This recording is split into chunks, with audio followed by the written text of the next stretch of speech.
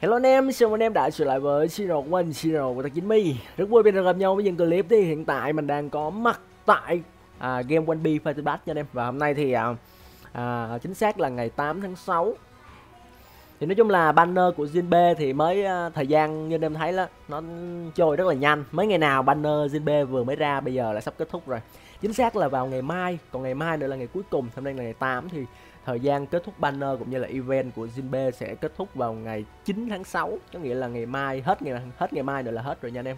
Thì sau đó thì mình cũng không rõ là có ra banner 80% hay không. Nhưng mà mình nghĩ khả năng cao là có tại vì banner 80% uh, ờ, những cái uh, tháng gần đây thì nó đã không có rồi cho nên là mình nghĩ là uh, tiếp theo khi mà kết thúc banner Jinbe sẽ có banner 80% à, nó sẽ theo thứ tự thôi mình cũng không rõ là hôm bữa ra tới banner nào rồi nhưng mà nó sẽ theo thứ cái thứ tự SS thì nó sẽ ra banner 80% rồi à, sau đó một tuần nói chung là sẽ rơi vào khoảng tuần sau. Chính xác là vào ngày 17 tháng 6 khoảng ngày 17 tháng 6 tức là rơi vào thứ sáu đó thì sẽ ra banner râu đen. Mình nghĩ là như vậy. Tại vì SS banner thì từ trước tới giờ game ra thì ờ, đều là rơi vào thứ sáu cả. Cho nên mình nghĩ uh, chắc chắn một điều là như vậy rồi. Rồi ok. Như thường lệ thì chúc anh em một ngày vui vẻ nha. Và xem clip nhớ like subscribe để cái kênh ủng hộ cho mình. Bạn nào còn gặp phải vấn đề đăng nhập đăng ký chứng minh nhân dân uh, chưa vào được game thì anh em thể liên hệ à, facebook mình. Lên facebook mình để phần mô tả. Anh em mua ạc hay bán ạc thì cũng có thể liên hệ mình. Và mình nhấn mạnh là mình chỉ bán và mua android nha. Chứ nói luôn để những bạn uh, chơi bên ios uh, à, đỡ phải mất công nhắn tin cho mình. Tại vì uh, mình chỉ bên android thôi. Còn ios thì anh em có thể mua chứng minh nhân dân để vào game thôi chứ mình không có bán ạc nha. Cũng như là không có mua ạc ios rồi ok. Hôm nay thì mình sẽ thay đổi không khí một xíu. Mình bước sang một cái uh, series gọi là chuyên mục khác. Đó là series liên quan tới những cái con tướng trong bát. Thì bây giờ mình sẽ vào bát cho anh em xem luôn. Nhưng mà trước tiên thì nhận thư cái đã thư hôm nay thì chắc cũng không có đặc biệt đâu nó chỉ phát cho mình cái điểm à, uh, 2 vết 2 cơ bản thôi được 200 điểm anh em ơi. Sau đó thì à, sẽ là một vài thao tác để mình nhận được à, trái tim xanh nè. Đấy nhận cái điểm trái tim xanh. Sau đó thì mình sẽ nhận một số cái quà nên nhận sớm nên nhận sớm nha anh em. Đó là cái đảo. Đây bên đảo này thì nhận đi để nó có thời gian nó reset để chúng ta nhận tiếp. Rồi ok. Tiếp theo thì à, mình sẽ vào à, báo cho anh em xem luôn hen. Thể lực mình thì cũng đang nhiều 2009 hình như mình nhớ không nhầm là ngày 10 à, có cái event à, gacha. Tức là cái event à, đập thùng đó anh em thì trong cái event đó cũng khá là ngon. Nói chung là trong đó thì chúng ta sẽ được 5 vé vàng kèm theo trái rồi mỗi cái hình nộm của nhân vật 5 thùng đổi ra được được thêm 500 trái nữa. Nói chung là cái event đó ngon đó anh em. Nhưng mà bị cái là cái event đó phải có thể lực nhiều cho nên là anh em cần phải tích thể lực nhiều. Rồi ok. Bây giờ thì mình sẽ vào bát trước nha. À, không vào event này trước đi. Còn tụi hôm nay có event gì mới không anh em mình nghĩ khả năng cao là không có, tại vì nó đợi đúng ngày nó mới ra thôi. Cho nên là hiện tại là không có banner gì mới. À không có event gì mới nha anh em. Rồi, mình sẽ vào chỗ event này một xíu để mình à, xem thử coi có gì hot hay không. Nhận thể lực thì từ từ rồi nhận, tại vì thể lực mình đang full rồi. À cái này vẫn còn nè anh em.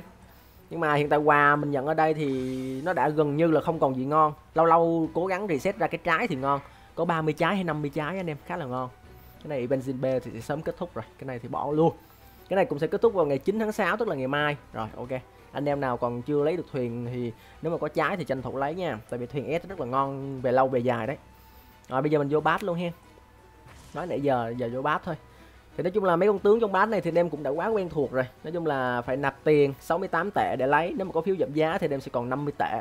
Rồi, còn nếu mà không nạp được cày chay free thì em tích 4 tháng. 4 tháng là có một con. Tại vì tướng S thì chỉ cần 20 mạnh là ghép lên được rồi, chứ nó không có như SS SS thì cần 50 còn S thì chỉ cần 20 cho nên là mỗi tháng mỗi mỗi tháng em có thể mua được tối đa 6 mảnh. Thì suy ra là à, 3 tháng thì được 18 và đến tháng thứ tư là anh em mua được hai mảnh nữa là đủ. Đấy số còn lại anh em thể mua mảnh khác.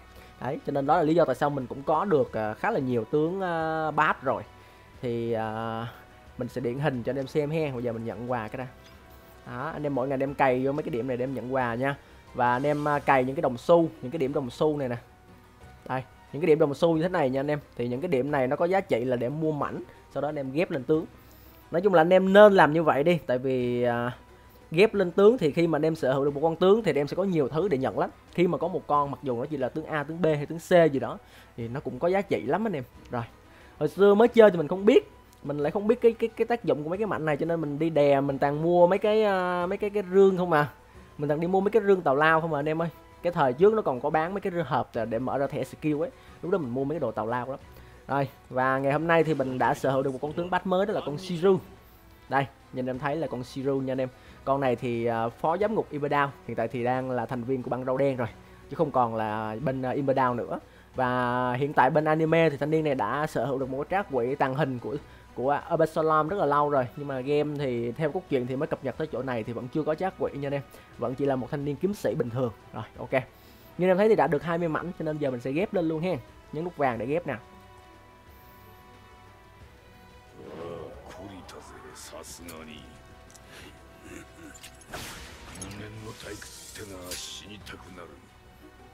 Khá là ghê luôn anh em ơi, nhìn khá là xịn sò nói chung là nhìn à, kiểu ờ, đường chém máu me rồi thanh niên này nói chung là rất là tàn nhẫn. Đấy trong anime thì rất là tàn nhẫn. Và đúng với thương hiệu là thanh niên ác quỷ luôn anh em ơi rất là ghê gớm. Rồi sau đó thì mình đã sở hữu được một con tướng cho nên cũng khá là ok.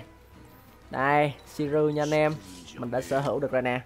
À, ngoài ra thì mấy con tướng bát khác thì mình cũng à, còn thiếu nhiều lắm. Ví dụ như là Berona. Ủa Rima mình chưa có hả ta? Vãi nồi vậy vậy là hôm bữa mình chọn cái gì ta? À chọn VV đúng rồi, trong cái sự kiện chọn S, rồi ờ chọn VV cũng được. Nói chung là cứ cố gắng sưu tập tướng thôi là ok anh em ơi. Rồi như vậy là mình đã có Siru nha rồi, và khi anh em có được sở hữu được một con tướng thì anh em vào chỗ bộ sưu tập ảnh để anh em nhận quà. Đây. Đấy, thì tùy vào chất tướng. Ví dụ như là con tướng S thì mình nhận được 80 trái, còn tướng SS thì anh em chắc là nhận được 80 hay là trăm gì đó, mình cũng không nhớ. Rồi, ok đó lực chiến lên về vèo liền anh em ơi. Và tất nhiên là những cái con tướng khác của mình cũng được hưởng ké hay sao á. 152k2 thì mình cũng không có không không hồi nãy không không không xem cho nên cũng chả biết có được hưởng ké hay không nữa. Nhưng mà mình nghĩ khả năng cao là có. Lực chiến của mình là đang khoảng tầm 4 triệu rưỡi. Đấy, nói chung là cũng khá là ít thôi. Nhưng mà đối với mình cày chay như vậy là cũng khá là ok rồi anh em ơi. Rồi ok. Uhm, nói chung là hôm nay thì mình sẽ test skill của Siru mặc dù Siru đã ra mắt lâu rồi nhưng mà hôm nay mình mới có cho nên mình sẽ test cho anh em xem rồi trước tiên test thì mình sẽ vô bán tiếp để mình à, mua một số mảnh cho anh em xem. Tại vì thì mình đang có 80 điểm cho nên là chắc là mình sẽ mua được khoảng à, 6 mảnh. Quan trọng là mua sao cho hợp lý nha anh em. Thì bây giờ con tướng Siru là mình đã có rồi cho nên là mình không mua nữa. Bây giờ thì mình sẽ chuyển sang mục tiêu là mua những con mảnh con khác để chúng ta lấy đầy đủ. Bây giờ mình sẽ ví dụ cho anh em xem. Thằng X-Ray này tạm thời mình mới có một mảnh cho nên mình sẽ bỏ qua nó một xíu. Mình sẽ tập trung cho con Jojo Kim Cương. Tại vì Jojo Kim Cương mình đã có 10 mảnh có nghĩa là bây giờ mình có thể mua full 6 mảnh này là mình sẽ được lên 16 và tháng sau mình chỉ cần mua 4 mảnh nữa là mình đủ được Suzu Kim Cương. Có nghĩa là tháng 7 đó anh em. Rồi bây giờ mình sẽ mua hết 6 mảnh luôn. Ủa được 5 mảnh thôi hả? Ồ, như vậy là do thiếu tiền anh em ơi. Rồi mình nhầm, sorry anh em mình nhầm xíu. Ok, 5 mảnh cũng được. Đó. Là nói chung là hết cái tháng này chắc chắn là mình sẽ mua được 6 mảnh. Rồi sau đó thì tháng sau là mình đủ để mình lấy Suzu Kim Cương. Và những cái điểm còn dư thì mình có thể mua được những thứ khác. Bây giờ mình sẽ tính những cái điểm còn dư cho anh em xem. Bây giờ đang còn dư 5 điểm, tức là mình còn thiếu 10 điểm nữa để ờ, đổi nốt cái thằng Jojo, đúng không? Bây giờ mình sẽ lên đây lại cho anh em xem. Đây, bây giờ tính các điểm mà mình có thể nhận được trong tương lai. Cái này 20 có nghĩa là mình mua được uh... thôi, tính tổng luôn đi 20 nè. Cái này 20 này là 40 40 rồi nha anh em 50 nè. 50 60 70 tổng cộng là mình được 70 cộng thêm 5 điểm dư ở đây là 75 với 75 điểm này thì mình sẽ mua được thêm 6 mảnh nữa đúng không ta? Một mảnh là 15 đúng không? Hay là 7 ta? À, 70 75 chia cho 15 là bao nhiêu ta? 5 hả? 5 năm. Đúng rồi vậy là được 5 mảnh thôi anh em ơi. Rồi ok. Tối đa được 5 mảnh nữa. Thì mình sẽ mua ở thằng Suzu này một mảnh là mình còn dư được 4 mảnh nữa. Thì 4 mảnh đó thì mình sẽ mua cho con này. Mua cho con uh, Kobe với Hemebo thì với 4 mảnh đó thì sẽ giúp cho mình lên được 6 mảnh. Như vậy là thằng Kobe Hemebo này được 6 mảnh. Rồi tháng sau mua 6 mảnh nữa là 6 x 2 12 6 3 18 vậy là vẫn vẫn phải chờ thêm một tháng nữa hả? À, cay đắng cuộc đời em ơi. Oh my god.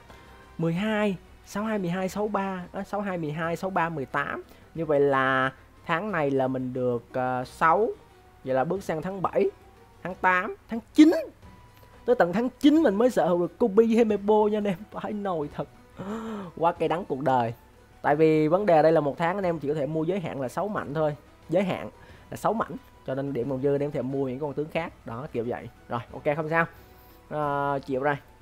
Cứ cố gắng thôi anh em ơi. Tại vì mấy tướng cơ bản là 4 tháng anh em mới mới mới mới, mới có được một con tướng S tướng tướng tướng bát mà.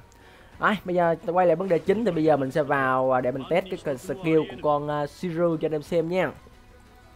Siru đâu rồi, VV bọn mình cũng lấy rồi nè. Nhưng mà cũng chưa test skill, nói chung là con này nó nó tướng cũ rồi cho nên cũng chả có gì để test. Rồi, bây giờ cho test Siru nha. Nói chung là mấy con tướng trong bán này thì đa số là phần lớn là nói chung không phải phần lớn mà là hoàn toàn 100% là tướng kiểu BBB luôn anh em ơi. Chứ mấy con này đi BBE cũng không ngon lắm. Có ngon thì cũng ngon sơ sơ thôi chứ cũng cũng không ngon bằng mấy con SS. Thành ra mấy con S này chủ yếu là đi BBB. à, ok. Con này thì BBB khá là ngon. Rất là nhiều anh em đã chơi và trải nghiệm rồi. À, có con Rima nữa, con Rima cũng khá là ngon. Nói chung là đa số mình thấy mấy con kiếm sĩ thì thường nó ngon nhờ. Mấy con kiếm sĩ ngon vãi đây là chính tay mình test luôn nha anh em nói chung mấy clip trước thì là mình review của uh, trên video thôi còn bây giờ là chính tay mình sở hữu và mình test thì nó sẽ ngon lành cành đào hơn về tư thế di chuyển thì như em thấy là cầm đao cầm cái kiếm chạy như thế này. Nhìn cũng khá là ục ịch nhà anh em thanh niên nhìn cũng khá là béo hơi ú một xíu. Lướt đi thì ở sau lưng sẽ có một cái ờ, uh, vần sáng đỏ đỏ. Nói chung là màu thương hiệu của màu này là màu uh, màu đỏ nhưng mà cái này phải màu đỏ cũng không phải là đỏ hẳn mà là đỏ cam anh em gọi là màu đỏ cam ấy. Đấy màu này là màu hắc ám quá anh em thanh niên này tàn nhẫn lắm. Bây giờ mình sẽ đánh thường trước cho anh em xem ha.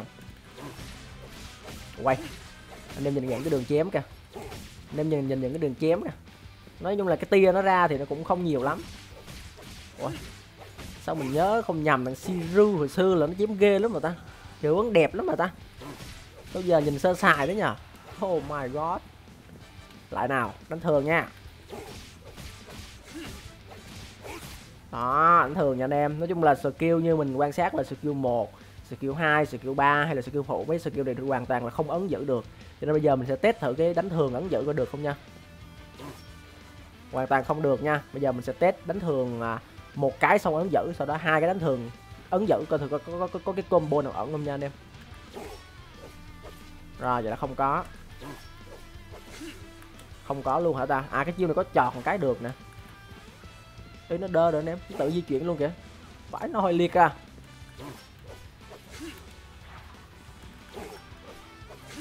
Tròn à vậy là đánh thường cũng chả có cái ấn dự gì cả nha anh em. Nói chung là chả có skill ẩn nào của đánh thường cả. Bây giờ nó sẽ test skill 1 nha. Mà cái giờ skill số 6 này tại sao nó tự có vậy ta? Cái này skill số 6 này vui vậy. U. Uh gì vậy? Cái chiêu này là gọi là chiêu vận à. Vận đứng im tại chỗ luôn nè anh em. Mà sao cái màu ảo vậy? Cái màu là đỏ cam mà bây giờ mình vận là nó chuyển sang màu tím tím hồng hồng nên anh em. Anh em thấy ảo chưa? không lẽ mấy mình bị lỗi hay ta? Mấy mình bị lỗi về hình ảnh à? Ảo ma thật. Nói chung là khi chúng ta vận số 6 như thế này là nó chiêu một và chiêu hai nó sẽ thay đổi nha anh em. Anh em nhìn nè. Đó nó sẽ có cái thời gian xoay xoay như thế này cũng khá là hấp dẫn. Ồ hay đấy. Nói chung là khi vận như vậy là là nó sẽ như vậy. Và ta có thể uh, xài được skill. Bây giờ mình sẽ test skill đầu tiên trước. Chiêu này chọt tới. ok. Lao tới và đâm đối đối thủ nha anh em. Chiêu này là chiêu chọt mà sao màu ảo vậy anh em? Mấy mình bị lỗi về hình ảnh chăng? Ảo ma vậy? Sao giờ nó thành cái màu kỳ vậy? Rồi, bây giờ sẽ test về chiêu 2 chiêu này là chém xung quanh. Shikuzume à nói chung là cái màu thấy hơi ảo nha anh em. Thấy màu là hơi ảo rồi đó. Đó xịn chưa? Còn khi anh em vẫn số 6 thế này sau đó xài chiêu một lại. Đấy nó sẽ xuyên người luôn chọt xuyên người luôn kiểu kiểu tăng cái cái cái hiệu ứng skill á nó đẹp hơn anh em. Đó đẹp chưa đẹp chưa đẹp chưa? Bây giờ mình sẽ test thử với chiêu 2 nha. Đó nhìn nhiều đường chém hơn đúng không? Ủa mà sao cái màu ảo ma vậy? Mình thấy hơi sai sai về cái cái cái cái, cái màu nha ok bây giờ mình test skill skill ba luôn nè. Ồ oh, anh em. Mình nhớ không nhầm là nó nó đâu phải màu này đâu. Bây giờ nó lại là màu hồng hồng đỏ đỏ hồng hồng tím tím là thế nào? Trong khi trong hình ảnh cũng là màu này. Đó chiêu đó là như vậy nha anh em. Bây giờ chúng ta test skill skill phụ nha chiêu này cũng là lao tới chọt sau đó chém một cái. Ok. Đấy bây giờ sang uh, skill phụ thứ hai nha tại vì mỗi con tướng thì đều có hai skill phụ. Bây giờ là tới chiêu này. Chiêu này là chiêu đâm sâu lưng à. Chiêu này là chiêu uh, đâm sâu ta gọi là đâm sâu ta. Ok vậy? À chiêu này phản đam. Chiêu này phản đam anh em ơi. Phản đam nha phản đam chung là khi đối phương tấn công ta xài chữ đó là gọi là phản đam. Đó, phải canh đúng tham minh, nói chung là canh đúng tham minh. Bây giờ là chịu anh ti nha.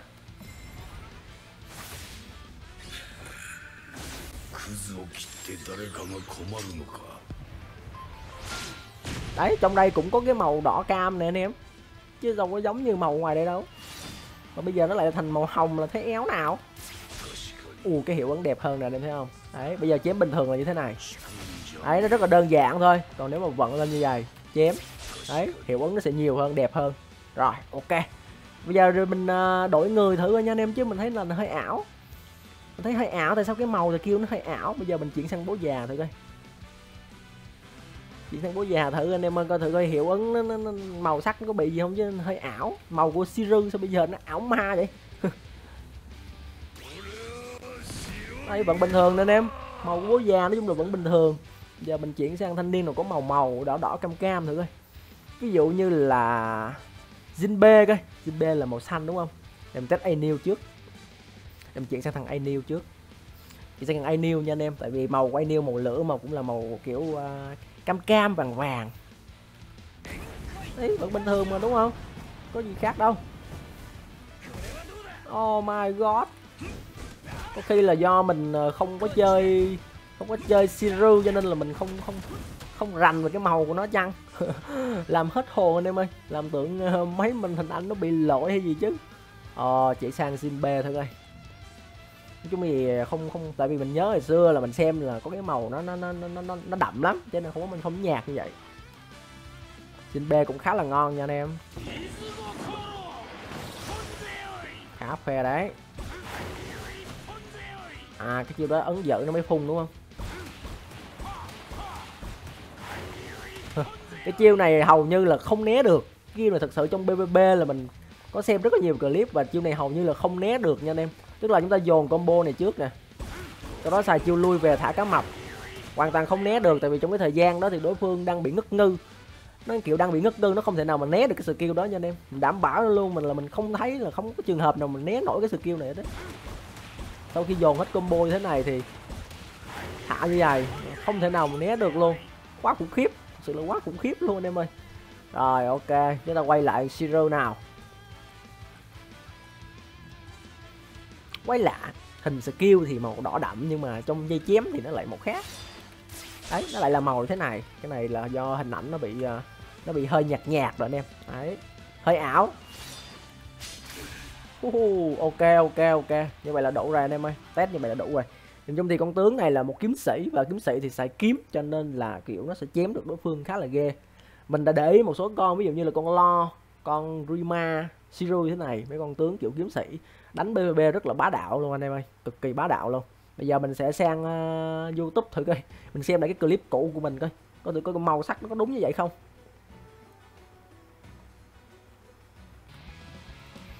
Ok anh em mình đã quay trở lại đây.